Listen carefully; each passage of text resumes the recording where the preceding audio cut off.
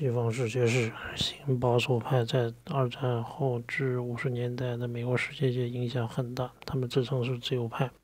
但实质上也赞同和谐史观，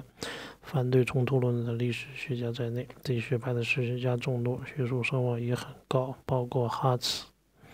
布尔斯汀、霍夫斯塔特等人，都是战后才华出众的史学家。